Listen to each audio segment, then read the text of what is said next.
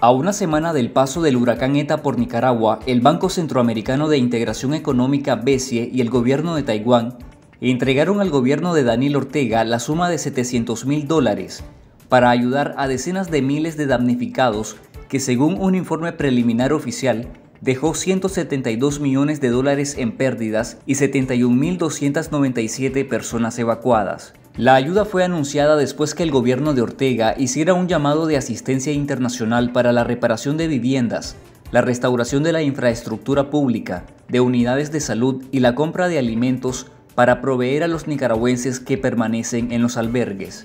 Familias afectadas en la costa caribe norte de Nicaragua han denunciado el abandono estatal frente a la emergencia producida por el huracán ETA y demandan asistencia humanitaria inmediata tras perder por completo sus viviendas y fuentes de trabajo. El gobierno pues, nos dijo que vamos a ayudar, pero todavía nada.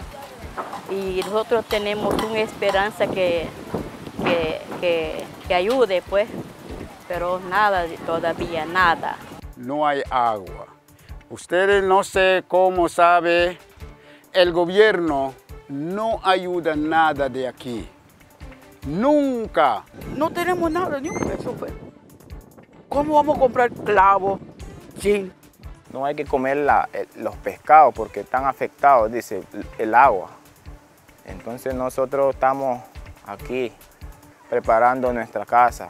El sacerdote misquito Rodolfo French, encargado de la parroquia San Rafael en Guaspam, advirtió un panorama desalentador para 14 comunidades indígenas de la costa caribe norte, de las que ETA arrasó y dejó en precariedad la seguridad alimentaria. Son comunidades sumamente pobres. Lo peor llegará cuando la gente regrese a sus comunidades, dijo el sacerdote en entrevista con Confidencial.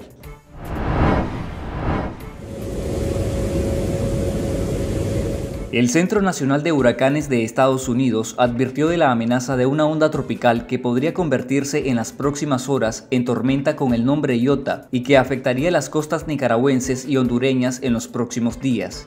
Según el monitoreo del Centro Humboldt, de continuar su evolución, Iota podría convertirse en huracán de categoría 1 a inicios de la siguiente semana, que podría generar presencia de abundantes precipitaciones en el país.